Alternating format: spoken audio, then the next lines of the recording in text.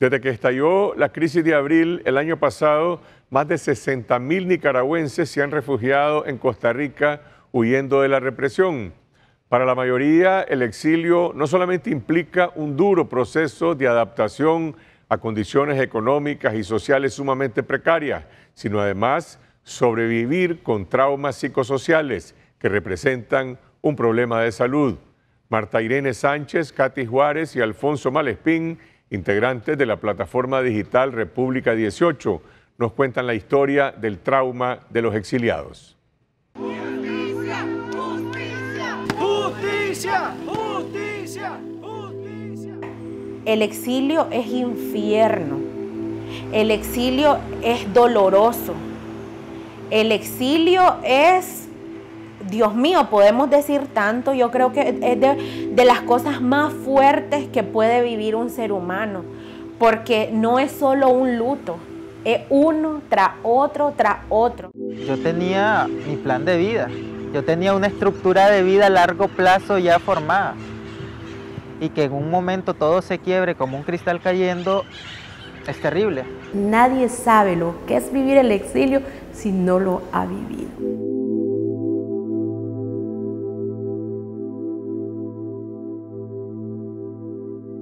Mi nombre es Nidielisa Monterrey Guillén, tengo 25 años, soy psicóloga y eh, nací en la ciudad de Bluefields. Yo llegué a Costa Rica el 21 de julio del 2018. Yo fui sobreviviente del ataque del 13 de julio a la, a la parroquia eh, Divina Misericordia con la operación limpieza, en donde nos sacaron a todos los estudiantes que permanecíamos atrincherados en la UNAM.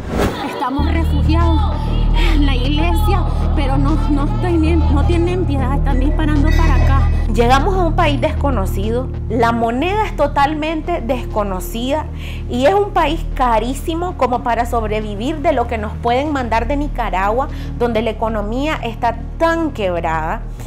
No conoces a nadie, no tenés idea de ¿y ahora qué? ¿Y cómo estudio?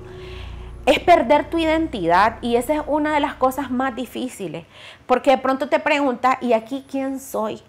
Uh, me llamo Joel Loaiziga, era estudiante de la UNAM Managua, estudiaba la carrera de bioanálisis clínico quinto año, eh, soy originario de la ciudad de Rivas.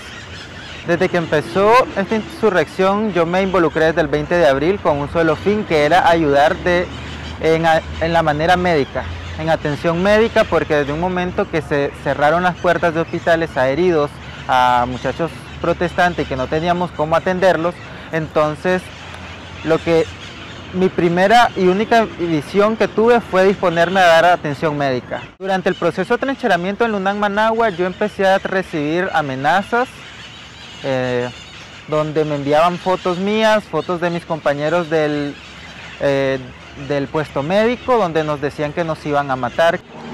Después lo que nos confirmó todo fue cuando empezaron a hacer los procesos de expulsiones en la universidad y yo salgo encabezando la lista de expulsados de la universidad. Entonces eso fue lo que empezó a, darme y a llenarme de miedo y a temer por mi vida en Nicaragua. Mi nombre es Lisette Molina Cruz, nacida en Chontales, Residía en Matagalpa y trabajaba en Matagalpa hace 19 años con una profesión de médico, especialista en pediatría.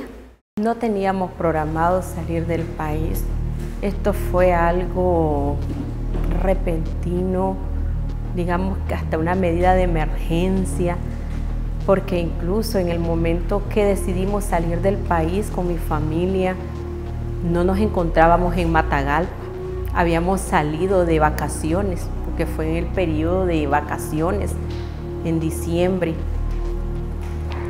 Y pues recibimos noticias fuera de nuestra casa, ¿verdad? Que había un asedio, persecución, que habían militares rodeando mi casa. Cuando vos salís de tu país, lo primero que perdés es tu territorio eh, significa de cosas muy concretas, de perder tu casa, de perder tu cama, tus olores, tus sabores. Para todo el mundo fue una tremenda sacudida y que sí ha tenido un impacto, ha tenido un impacto en la salud, Entonces vos te encontrás desde manifestaciones como insomnio, diarrea, enojo, depresión. Estar acá no ha sido fácil. Hemos tenido, por lo menos en mi caso, he tenido que luchar contra depresiones, problemas de concentración. Te miran como menos.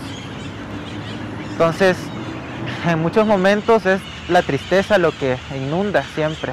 Tristeza, melancolía, extrañar a la familia, extrañar a, lo que uno tenía, amigos.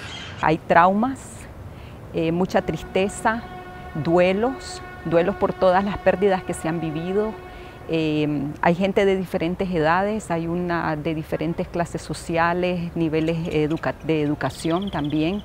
Sin embargo, aún con las diferencias se puede generalizar el sentimiento de duelo, em, el sentimiento de, de, haber sido avasallados y haber sido echados de Nicaragua, porque esa es la vivencia, es como yo no quería venirme, yo no pedí estar acá. Desde que llegué acá, desde que puse un pie en Costa Rica, yo he soñado con pesadillas, con que mis mismos amigos me matan, con que me corro de la policía, con que cruzo techos, con que escucho disparos. No todo el mundo logra controlar sus emociones y tenemos problemas mucho más grandes como la pérdida de un ser querido en el exilio que me ha tocado vivir. Quiero decir, su muerte nos deja una gran lección él luchó, él tenía coraje y tenía las mismas intenciones que todos los jóvenes que, o todas las personas, los civiles, campesinos, que hoy estamos en el exilio y era de regresar a Nicaragua. Él cumplió con su parte, pero no pudo desgraciadamente manejar todo ese cóctel de emociones que nos provoca el exilio. Y buscar la sobrevivencia en un país en donde es difícil reinsertarte como un profesional en donde tenés que decidirte a trabajar en la oportunidad que se te aparezca, que te genere un ingreso para sobrevivir y no andar como un indigente pidiendo en la calle o durmiendo en la calle. Tal vez nosotros no estuvimos en el Chipote, ni ella en la Esperanza, pero este país para nosotros significa una cárcel también, así de grande, con fronteras como todos los países. Si hay depresión, si hay llanto, soy humano, eh, si hay soledad, si hace falta la familia, hay mucha nostalgia y digamos que tal vez eh, sea la familia, pero también hay muchas necesidades que no podemos suplir acá. Y la gente que estuvo en las barricadas, muchos de ellos andan como indigentes. Y mi primer sentimiento es que yo no quiero eh, llegar a esos niveles, porque de la forma que vamos, y cómo se van marcando las pautas, tarde o temprano podemos caer ah, y eh, llevar ese tipo de vida de muchos de los que están durmiendo en los parques. Yo a veces lloro, porque es, difícil. A veces no tenés dinero, a veces pasás 15, 22 días sin un solo cordón. Y a veces uno tiene que comer el siguiente día. Y yo he comido aquí por la gente que me ha apoyado persona no tiene las herramientas emocionales para expresarlas, para vivirlas, como por ejemplo si está profundamente triste, poder llorar, desahogarse, tener una red de contención, una red de, apoyo que te sostiene, que te acompaña. Eh, si no hay eso, la persona está mucho más vulnerable y se, expresa a través de enfermedades. Cuando salí de allá, salí sano, pero cuando entré aquí entré en una etapa de ansiedad y muchas enfermedades psicológica, entonces fue como que resulté con diabetes acá, resulté con muchas enfermedades que no me las esperaba. Bueno, entré en un estado depresivo porque acostumbrarte a otra casa, a, otra, a, otra, a otro nivel que no es, o sea, más el de nosotros que es lugares rurales y acostumbrarte a la ciudad, es difícil.